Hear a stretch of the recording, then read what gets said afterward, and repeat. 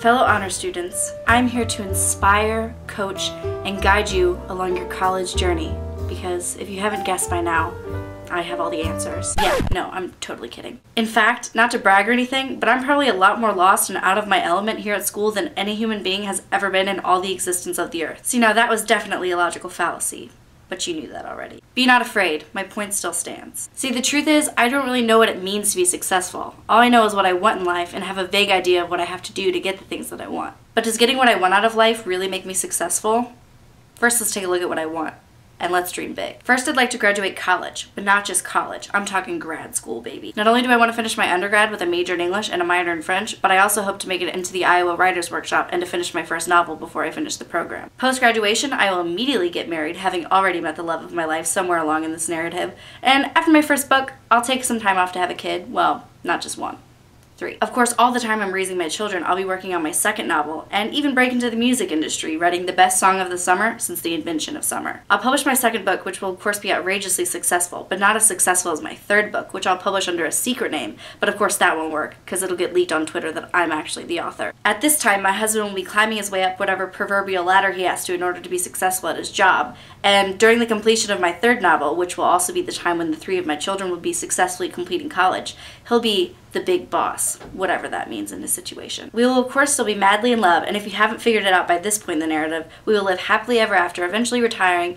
in order to take time to spend with our 11 grandchildren. So do you like my story? Pretty grandiose. But here's the more important question. In my story, did you think of me as a success? I sure did. But now I have to ask another question. If I fail to accomplish any of these things, whether it be not getting married, not becoming an author, or even, God forbid, not completing college, does that make me a failure? Now, I'm using failure in this case to mean the opposite of success. I'm going to argue that no, it wouldn't make me a failure, and here's why. To me, accomplishments aren't what makes someone a success. In my mind, at least three things are required to be a success. A positive attitude, constantly creating new and greater goals for yourself, and most importantly, acceptance that you aren't always going to accomplish those goals, and knowledge that that doesn't make you a failure. From what I know about life, which if you'll recall from the beginning of this video isn't much, Someone who's constantly setting up goals for themselves and trying their very, very best to accomplish those goals will eventually succeed. But here again, I ask another question. Does accomplishing your goals make you a success? I think it depends on the goal and even on who you're asking. These, of course, aren't the only two things that need to be qualified in order to make my previous statement valid, but work with me here. Say you do follow my advice. You force your apathetic and negative teenage self to be positive.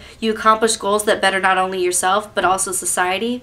You accept and move on from your failures what then? How do you prepare yourself for all the success you're having? I think there are two very important things that are also incredibly difficult that can help someone successful deal with their success. Stay smart and stay humble. By stay smart, I mean you don't go all crazy with your success and start acting irrationally. Like say you make a bunch of money and immediately spend it all on lottery tickets not the smartest move. Considering how money seems to be essential to how society defines success, I think it would be unwise for me not to include it in my analysis. A smarter move would probably be to invest your money, and an even smarter move before that would be to go see a financial advisor who probably knows a thing or two more than you about the stock market. This brings me to my second piece of advice. Stay humble. To me, staying humble means not only remembering where you came from and the people you love, but also not being afraid to ask for help. Just because you're success doesn't mean that you're all knowing or even that you have everything in your own field figured out. Now let's bring it down a little bit, back to the college level. I still say my three steps apply here, but there are certain other obvious things that you can do to succeed in college. First, go to class. I can't stress this enough. Paying for college and not going to class is like paying for a hotel room and sleeping on a park bench. It's just dumb. Second, don't procrastinate. I'm not telling you this for the sake of your grades. I'm telling you this for the sake of your sanity. As a serial procrastinator, I can tell you that the most stressed out and on edge I've ever been in school was when I waited to the last minute to do something. This very naturally leads to my final piece of advice. Stay sane.